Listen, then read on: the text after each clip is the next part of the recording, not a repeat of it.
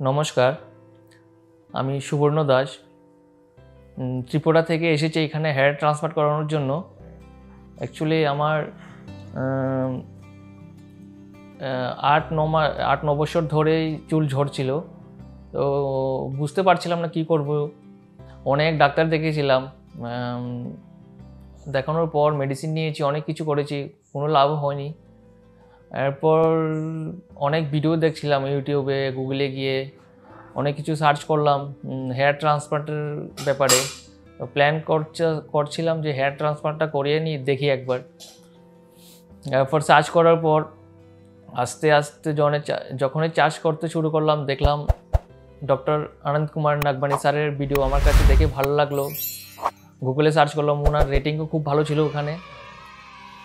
ওর, তারপর বিলোনিয়া ত্রিপুরা থেকে আমি স্যারের সঙ্গে কন্ট্রাক্ট করি ওখানে। কন্ট্রাক্ট করার পর স্যারকে আমি হোয়াটসঅ্যাপ ইমেল করলাম আমার পিকচারগুলো তারপর স্যার দেখে বলল, একটা এস্টিমেট দিয়ে দিয়েছিল আমাকে এতে তিন হাজার, সাড়ে তিন হাজারের মতো লাগতে পারে তোমার। তারপর আসলে এখানে আসলে ওটা মানে কনফার্ম হয়ে যাবে। এরপর আমি ত্রিপুরা থেকে ডেট নিয়ে স্যারের সঙ্গে দেখা করতে আসি, এখানে অ্যাপয়েন্টমেন্ট নিলাম। নেওয়ার পর স্যার আমাকে যা এস্টিমেট দিয়েছে অ্যাকচুয়ালি মিলে গেছে তিন, সাড়ে তিনের মধ্যে। এরপরও আমি আর পাঁচশো বাড়িয়ে নিলাম, চার হাজার বলেছিলাম স্যার- স্যারকে লাগানোর জন্য।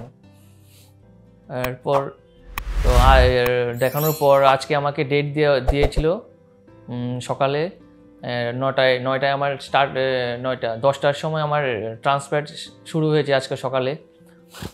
আসার পর এখানে সবাই খুব হেল্পফুল স্যারের স্টাফগুলো স্যার খুব হেল্পফুল সবাই খুব ভালো করে ট্রান্সপেট করিয়েছে এখানে আমাকে আজকে। ট্রান্সপেটের সময় ওরা আমাদেরকে, আমাকে খুব হেল্প করেছে। বুঝতে চিনি যে ট্রান্সপেট চড়ছে বা ব্যথা ফিল করতে দিনি এমন কোনো কিছু হয়নি ওখানে। আমি প্রথম থেকে মানে চিন্তা করছিলাম যে কেমন পেন করবে কেমন হবে। কালকে থেকে টেন্স ছিল অনেক। আজকে হেয়ার ট্রান্সফারটার পর এখনও এখন আমার শেষ হয়েছে হ্যান্ড ট্রান্সফার এখন আর আমি যেমন চিন্তা করেছিলাম আমার পেন হয়নি এখন অবধি এখনও এমন। সব সব কিছুই ঠিকঠাক চলছে, ভালোই চলছে। আশা করি রেজাল্টও ভালো আসবে আমার।